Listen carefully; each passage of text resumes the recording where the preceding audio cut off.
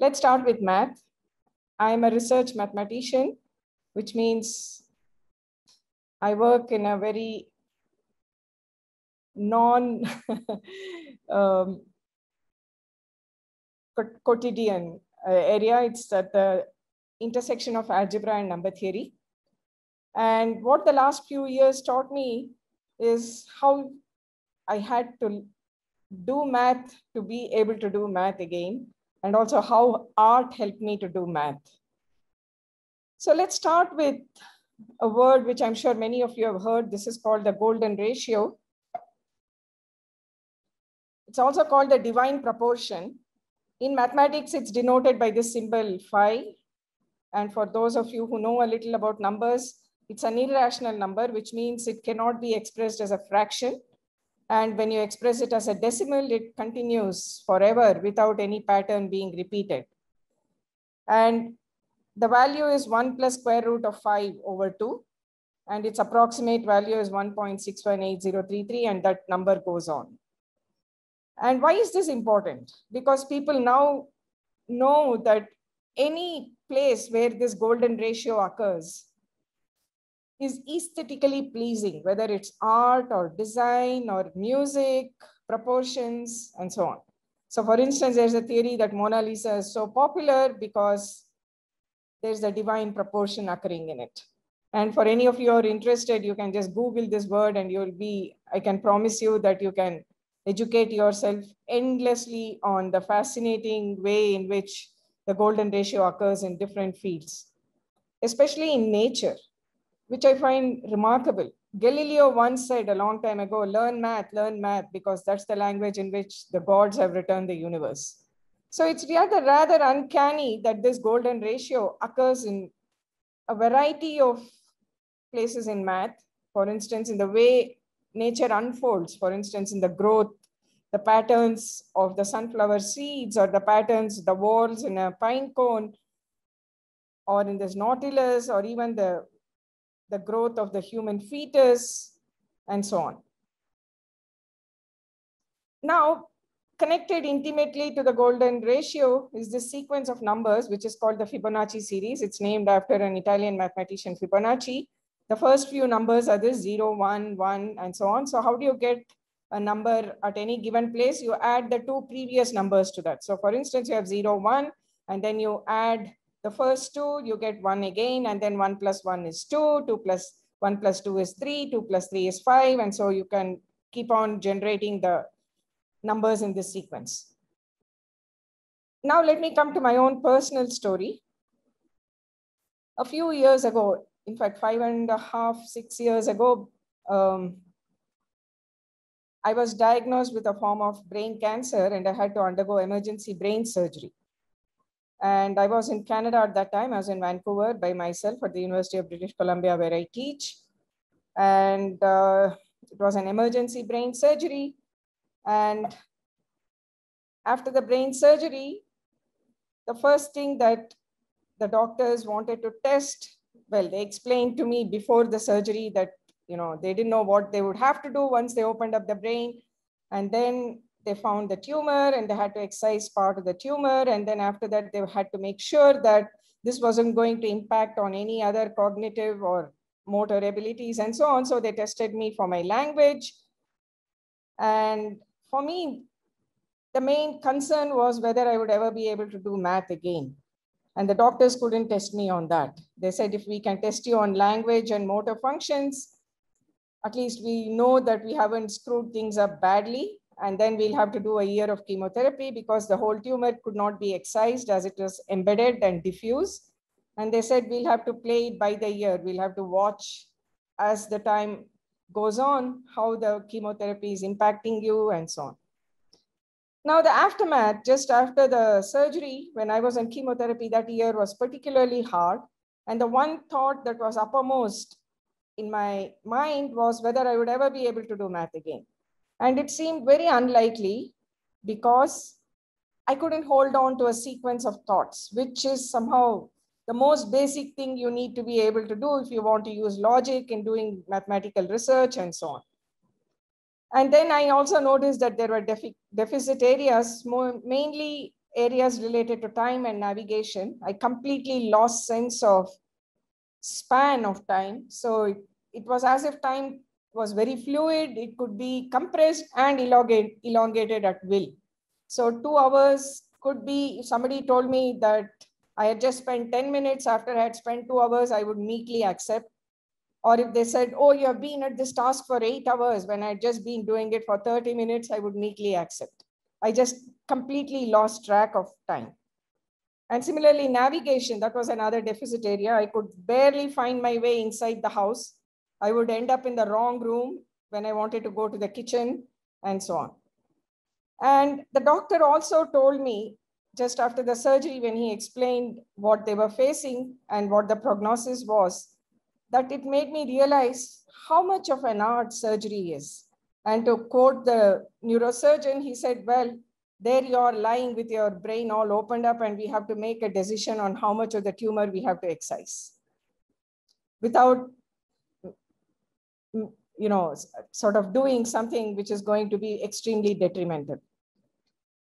That made me appreciate the split second decision that the neurosurgeons had to make. And after that, I got extremely curious about what it was to me to undergo brain surgery, what the doctors knew about brain, especially brain cancer, and neuroscience anyway had fascinated me for a long time. So I started reading about the brain and cancer and approaches, medical approaches to treating cancer and so on. And of course, the common metaphor that occurs whenever you want to read anything about the brain is related to a computer, how the brain is so similar to the computer, rather the other way around. The brain has been around for a long time. It's a computer which is an upstart. And then, of course, when you say computer, then the two functions, the hardware and the software, the two features. And so when I did the reading and talked to people, it made me realize that modern medicine under this metaphor was more aptly compared to the hardware. So if you want to compare the brain to a computer, then modern medicine is just the soft hardware. Whereas in a computer, we know that it's the software or the operating systems that's really its strength.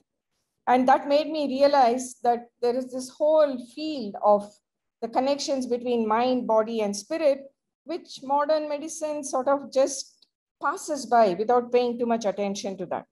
I decided to come back to India for uh, the chemotherapy.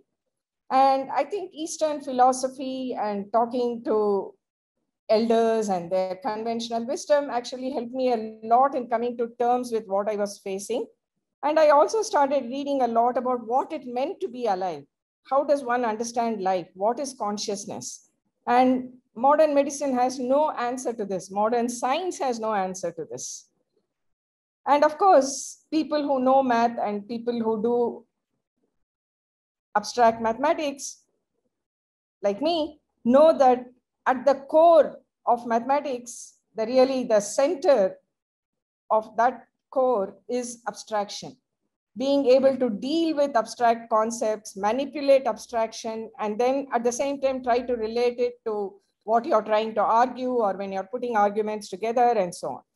And, and there was one piece of advice which I found extremely interesting.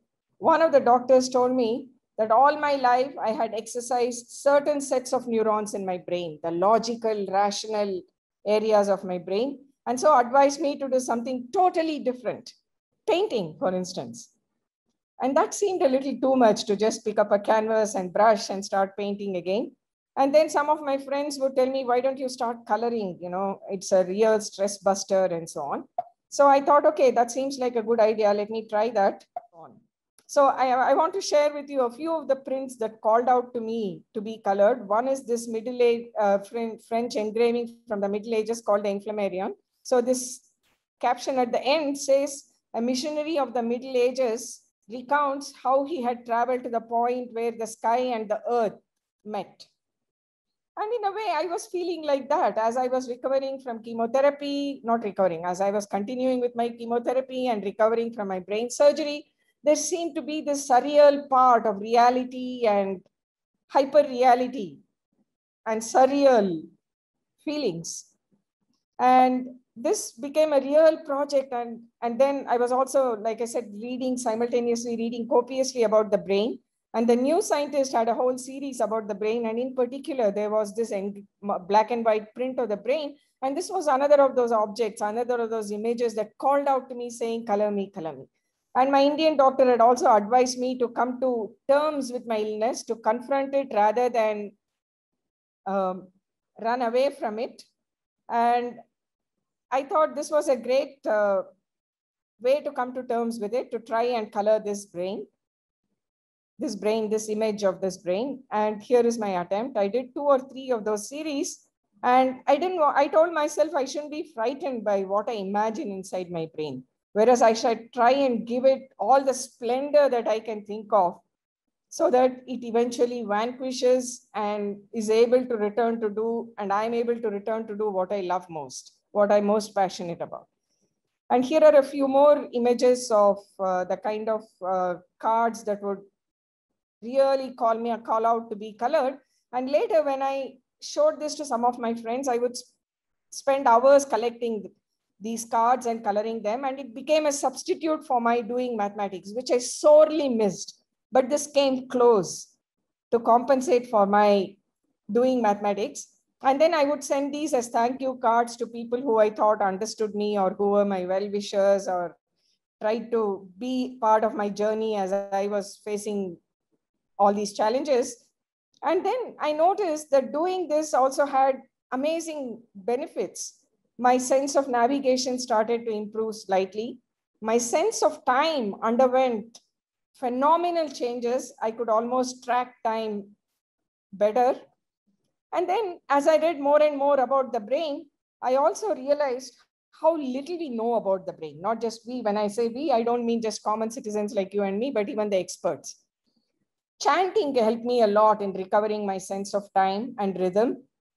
And the more I read about brain, the brain and uh, medical approaches to cancer, the more I realized or understanding the mind, the more I realized how little we know of it, how little one can define life, how little one understands of what is consciousness and so on. And so that again brought me back to why I loved mathematics, because there is this sense of mystery. There is this sense of being confronted with the unknown. And so many of these quotations by famous scientists started to have a special meaning, starting with this one from by Einstein, which says the most beautiful thing of all is the mysterious and so on. And of course, Ramanujan, who's a personal favorite, the famous number theorist, who said an equation has no meaning to him unless it expresses a thought of God. And of course, the most famous recent mathematician is Alexander Grothendieck. He was from the last century. He's a French mathematician, a maverick who contributed tremendously. I mean, he took the abstraction side of mathematics to new heights that even many existing mathematicians, many mathematicians somehow didn't like this phenomenon of raising mathematics to new heights via abstraction. So what was constant was made abstract and then vastly generalized and so on. And in his last years, Grothendieck became a recluse. He almost stopped interacting with the rest of the world. He would write copiously, and he wrote, some of his articles are very fascinating, where he would, he would claim that he was conversing with mystics, and he established this special relationship with past and present mystics and different religions and so on, including Buddhism. And uh, he had a list of people who he thought were from other planets who visited the earth in order to guide mankind. And all of this, just a few years back, if I, would, if I had read those, would have appeared as gobbledygook, whereas it seemed to make a special sense to me, given my sense of brain fog. I could relate to these better than quote under quote unquote normal times. And then it also made me, of course, this was something I was conscious of all the time, that there is this component of mathematics, which is pure art in the sense when you prove something, it's how these small bits come together. It's like crafting. It's like crafting a symphony. It's like planning a symphony. And I was more appreciative of that. And for people who are interested to see how math translates art, I would highly recommend this uh, website, imaginary.org, where you see these dazzling images. For instance, here is one this is called fractal icosahedron in which a group of reflecting spheres are touched or placed at the vertices, and then you look at the images that they throw up, but there is deep mathematics underlying this. And the reason that you get such an image has a mathematical meaning to it, has mathematical underpinnings to it. And there are lots of mathematics like this, which naturally, very seamlessly segue into art.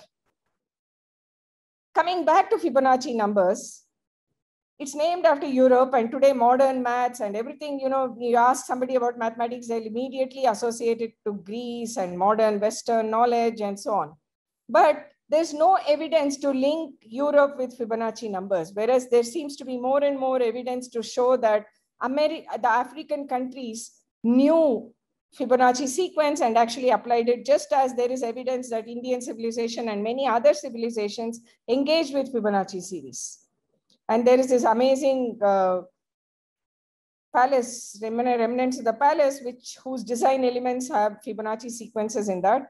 This is an African textile, which again has Fibonacci sequence coming up in that. And there's this very interesting conversation uh, article about African connections to the golden ratio.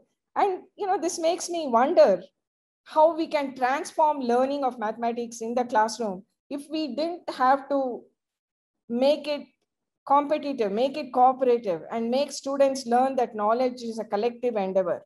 No particular civilization has a monopoly on that. Different civilizations and cultures have contributed to it in its own way.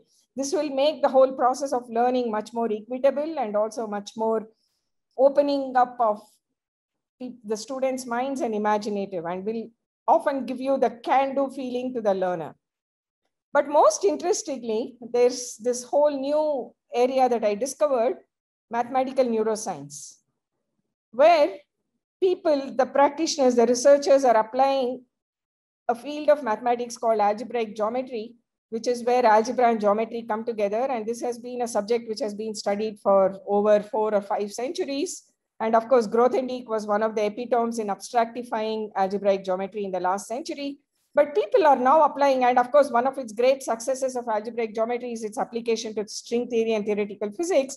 But researchers are now very hopeful that this will also give us clues to understanding the mind or understanding the formation of thoughts or understanding the neuronal networks and how they function and so on. So that's going to be fascinating. And again, lends more evidence why mathematics is probably the language in which the universe is unfolding in front of us. And let me leave you with this image of the Inflammarion engraving, which I colored just as I was emerging from my brain fog. And I think this was one of the paintings that really helped me get back to my mathematical feet and recover my sense of time.